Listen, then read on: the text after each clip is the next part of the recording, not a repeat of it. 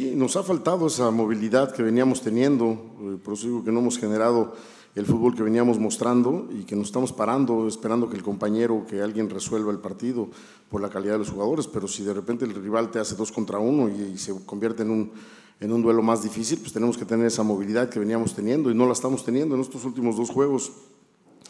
reitero, estamos en análisis de saber si es porque nos relajamos, por calificar,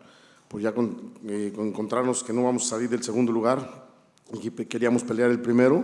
Pero bueno, pues ahora tenemos que concentrarnos, tenemos una semana de, de, trabajo para cerrar bien y preparar bien la liguilla, ¿no? porque son, son jugadas que, que, tienes que ver en la televisión. La verdad es que yo de, lejos como que leía que la caída de, Fuentes eh, justo cae encima de los pies y Guido no quiere, no quiere pisarlo, pero al final de cuentas es una jugada accidental que bueno, se toman como rojas, pero no, no, la verdad es por eso que estábamos, yo creo que reclamando, pero